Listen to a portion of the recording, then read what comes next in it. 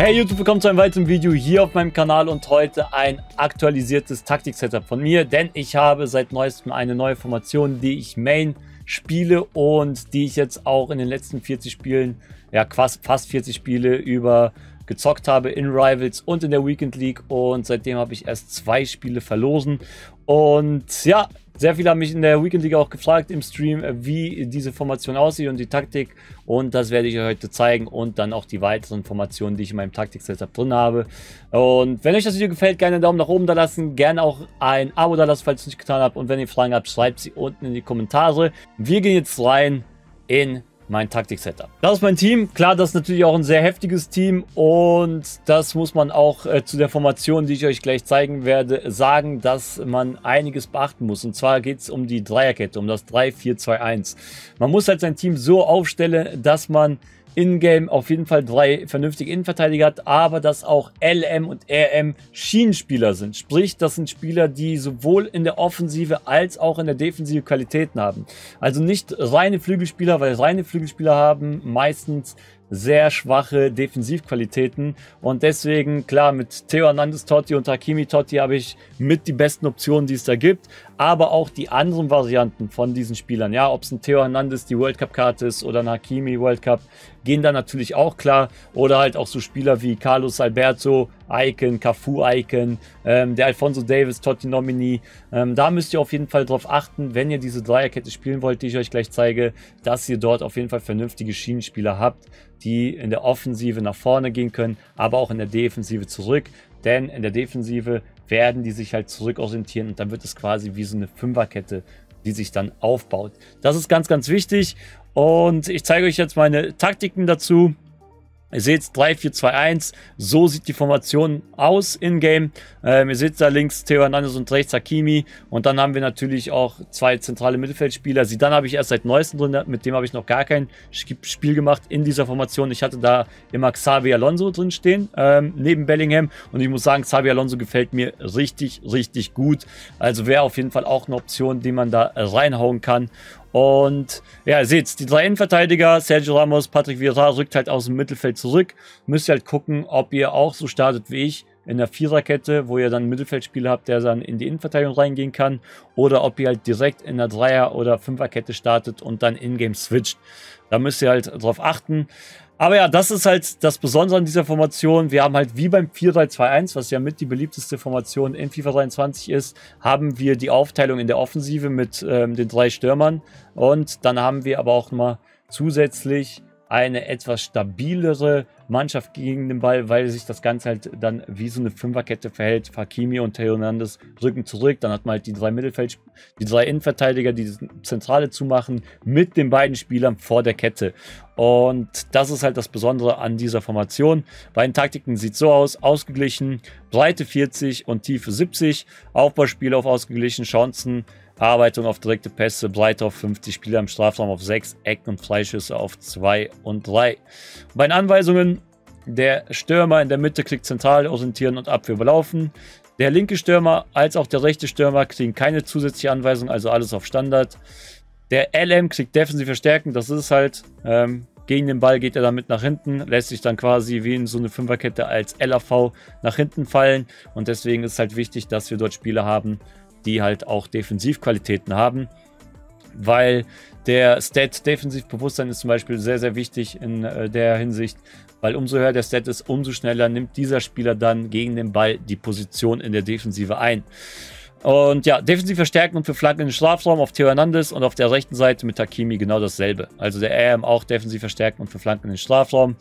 Die beiden Mittelfeldspieler kriegen hinten bleiben bei Angriffen und Mitte abdecken. Die drei Innenverteidiger auf Standard, keine zusätzliche Anweisung und der Keeper auf Flankenfänger. Und das ist das 3-4-2-1. Testet es gerne aus. Ist halt wirklich eine Formation, ähm, die richtig, richtig nice ist, wenn man sie spielen kann. Man kann den Gegner richtig gut dominieren. Man ist in der Defensive ähm, sehr stark aufgestellt und in der Offensive, ähnlich wie das 4-3-2-1 äh, aufgebaut, ist halt schon sehr nice. Und jetzt kommen wir weiter zu den anderen Formationen. Das ist jetzt aktuell meine Main-Taktik, meine Main-Taktik, die ich davor hatte und die haben wir auch schon ein paar Mal in den letzten Videos gehabt. Da hat sich nicht wirklich viel geändert. Es ist weiterhin das 4-3-2-1.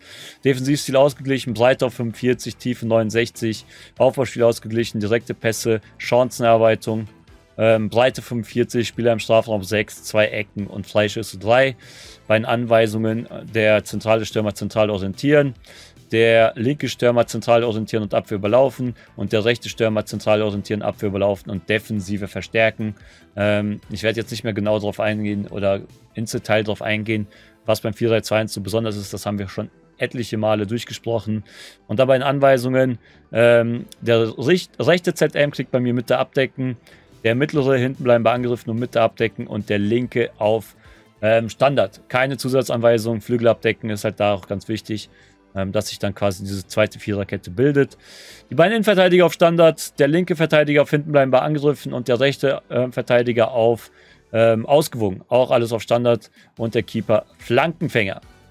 Dann kommen wir zu der Formation, die ich nutze, wenn ich ähm, vorne liege und irgendwie das Spiel runterspielen muss. Der Gegner hat ständiger Druck an. Ähm, meine Formation, um das Spiel halt quasi über die Zeit zu bringen, ist das 5-4-1 ausgeglichen. Breite 45, jetzt die Tiefe natürlich ein bisschen runtergeschraubt. Auf 55, Aufbauspiel ausgeglichen. Chancenarbeitung bleibt trotzdem auf direkte Pässe. Breite auf 50, Spieler am Strafraum schrauben wir auch runter. Wir wollen nicht mehr mit allem Mann vorne rein quasi. Ähm, wollen nicht ausgekontert werden in der Situation. Und Ecken und Freischüsse bleibt immer auf 2 und 3 bei mir in den meisten Formationen. Die Anweisungen sehen so aus, ähm, der Stürmer kriegt defensiv verstärken, die beiden zentralen Mittelfeldspieler hinten bleiben bei Angriffen und Mitte abdecken, LM kriegt defensiv verstärken, außen bleiben, ähm, RM kriegt defensiv verstärken und außen bleiben und die Außenverteidiger kriegen hinten bleiben bei Angriffen. Die Seitenverteidiger auf Standard und der Keeper auf Flankenfänger. Und dann haben wir natürlich noch die Comeback-Taktik. Wir liegen hinten, wir müssen unbedingt Tore erzielen. Ständiger Druck, Breite 50, Tiefe auf 80, ähm, Aufbauspiel, schneller Aufbau, Chancenarbeit auf direkte Pässe, Breite auf 60, Spieler am Strafraum, alles voll. Ähm, hier kann man eigentlich auch Ecken und Freischüsse hochschrauben. Wir wollen ja irgendwie die Box gut besetzen. Ähm, bei den Anweisungen sieht es so aus. Ich merke gesagt, dass ich hier wahrscheinlich noch die Position anpassen muss. Wobei, nee, das passt so. Wenn es soweit kommt, muss ich eh wechseln und einen der drei Mittelfeldspieler rausnehmen. Ähm, auf jeden Fall der LM vorn bleiben, in die Mitte ziehen, energisches Abfangen. Der RM vorn bleiben, in die Mitte ziehen, energisches Abfangen und Abwehr überlaufen. Der Stürmer zentral orientieren und Abwehr belaufen, energisches Abfangen und vorne bleiben. Und der andere Stürmer kriegt auch dieselben Anweisungen bis auf Offensivläufe. Er kriegt nicht Abwehr belaufen, damit sich da so eine kleine Asymmetrie bildet und somit auch äh, in der Viererkette oder Fünferkette, was der Gegner, je nachdem was er spielt, ähm, auch Verschiebungen passieren. Ja, indem der eine Innenverteidiger mit dem anderen Stürmer mitläuft und der andere Stürmer von uns ein bisschen stehen bleibt, entsteht ja eine Verschiebung, äh, indem die Kette dann nicht mehr auf derselben Höhe steht. Die beiden zentralen Mittelfeldspieler kriegen nur Mitte abdecken. Die beiden Innenverteidiger auf Standard, beziehungsweise nee, ähm, die kriegen beide auch engere Deckung. Das ist auch ganz wichtig. Engere Deckung. Wir wollen hoch stehen. Wir wollen schon an der Mittellinie stehen. Wir sind jetzt in der Risikosituation, dass unsere Verteidiger halt in der 1 gegen 1 Situation sind und sollen halt direkt am Mann stehen. Deswegen engere Deckung. Die Außenverteidiger mit angreifen, energisches Abfangen, übergreifend und engere Deckung. Ähm, das gleiche gilt auch auf den Rechtsverteidiger und der Keeper, Flankenfänger und Torwart Libero.